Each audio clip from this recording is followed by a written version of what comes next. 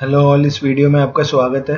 इस वीडियो में हम डिस्कस करेंगे सिप प्रोटोकॉल जो कि आई एम एस वोल्टे में यूज़ होता है और सिग्नलिंग के लिए यूज़ होता है। बहुत ही इंपॉर्टेंट प्रोटोकॉल है, अगर आपको वोल्टे अच्छे से समझना है और आई एम एस अच्छे से समझना है। तो सिप की फुल फॉर्म होती है सेशन इनिशिएशन प्रोटोकॉल ठीक है?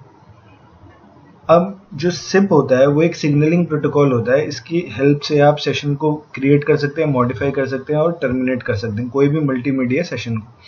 सिप जो होता है वो आईएमएस में सिग्नलिंग के लिए यूज़ होता है।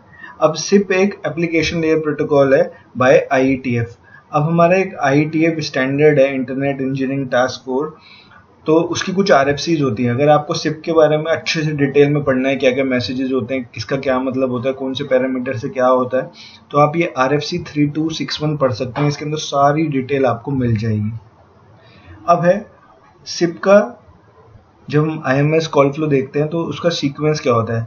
ये कुछ मैंने कैप्चर इसमें डाला है, ये वायर शार्क से आप निकाल सकते हैं। पीके फ़ाइल होती है तो उसके थ्रू ये आप निकाल सकते हैं। वायर शार्क में आप लॉग ले सकते हैं। तो आप देखिए register subscribe okay invite P rack एक ये सब जो सिप होता है ना, वो रिक्वेस्ट रिस्पॉन्स बेस्ड होता है। तो आप कुछ रिक्वेस्ट भेजेंगे, वहाँ से रिस्पॉन्स आएगा। तो जब आप रजिस्टर भेजते हैं तो वहाँ से आता है टू हंड्रेड ओके सब्सक्राइब बोलते हैं two hundred okay then notify invite trying ringing ये सारे इसके मैसेजेस होते हैं। इन सबको आपको अच्छे से समझना होगा, अगर आपको सिप प्रोटोकॉल समझना है। तो ये इसका एक कॉल फ्लो है।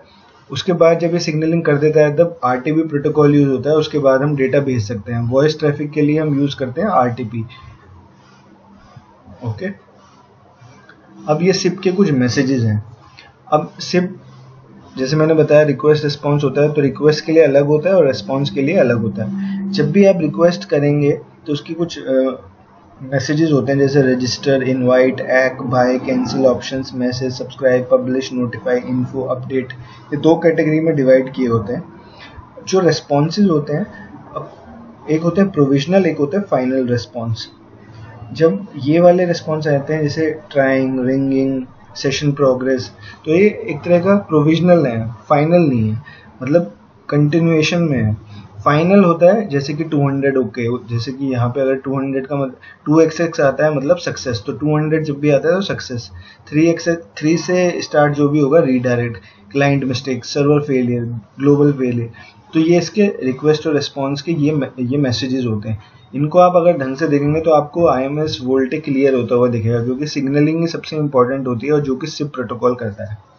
तो अगर आपको ये वीडियो अच्छा लगा तो इसको लाइक ज़रूर कीजिए और मैंने आई एम एस से रिलेटेड बहुत सारे वीडियोस डाल रखे हैं इंटरव्यू क्वेश्चंस भी डाल रखे हैं आई एम एस से रिलेटेड आप उन वीडियोस को देख सकते हैं।